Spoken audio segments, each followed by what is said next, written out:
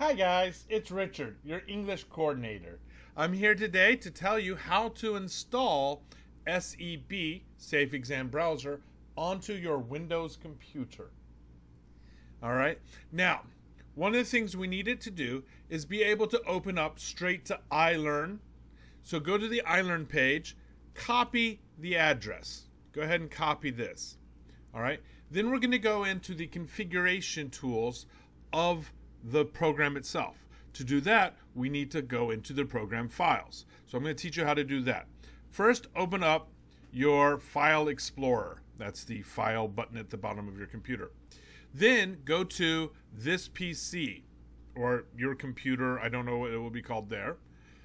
So I will click on this. Then it's going to be in your C drive. All right, so I'm going to open my C drive and then it's going to be in the program files. Now it's either going to be in program files or program files 86. When I was downloading it, I saw it say save to 86, so I know mine is in 86. But if you open yours and you don't see the Safe Exam browser in your 86, check your program files other folder. So we're going to go ahead and open this folder, and then we're going to see all of these things, which I don't really know what they mean. But look, here is something called SEB config tool. We need this. So we're going to go ahead and open this. And this is going to allow us to set the home page for SEB to iLearn. So we're going to take that off and then we're going to paste the iLearn page. That's it. Then I hit X and close it and it'll ask me, do I want to save? And I'll say yes. So I save it and then it's saved so that when I open SEB, it will automatically open up to iLearn 2.0 Feng Chia, and then you can enter in your stuff.